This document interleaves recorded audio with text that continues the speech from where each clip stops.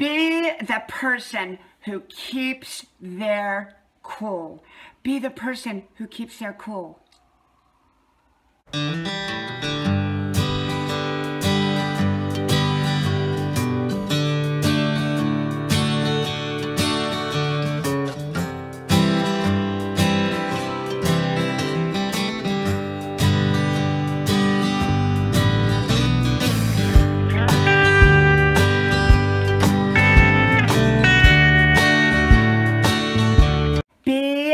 One that keeps their cool.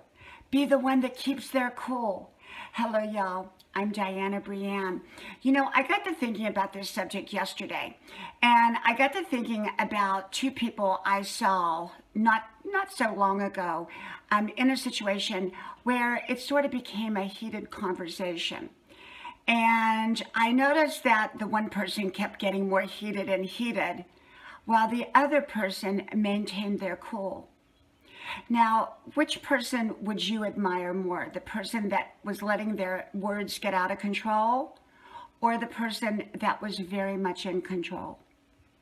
Well, I can tell you, I very much admired the person who kept their cool, who kept their cool. And often it's not easy to do that, especially when you have someone who is not being all that nice. You know, we've all met people that just spew all kinds of words out there. Um, almost uncontrollably.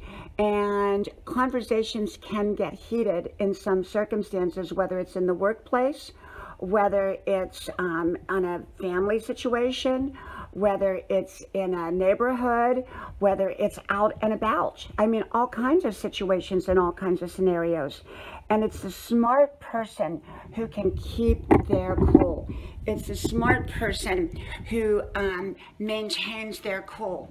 And often part of that cool is listening, just listening.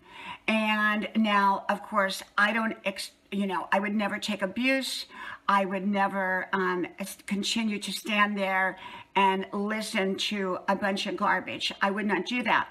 But initially, sometimes the best thing we can do until we can exit the situation is to keep our cool. I admire people that can keep their cool because it takes a lot of self-discipline. I'm one of those people that can keep my cool. I listen, but then I exit. From my house to yours, I don't give advice. I don't give suggestions. I just share with you my opinion on different topics. May God bless you. I hope you like, share, subscribe to all five of my channels. Links are pinned to the top of the comment section below. And if you connect with me, I will likely connect back with you with all five. Hope to talk to you then. Bye-bye.